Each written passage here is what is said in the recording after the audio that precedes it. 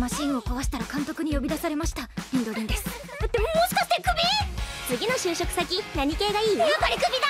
って冗談よ。次回ハイスピードエトワール。あなたの走り。よしもう一度引きこもろう。冗談って言ってるでしょ！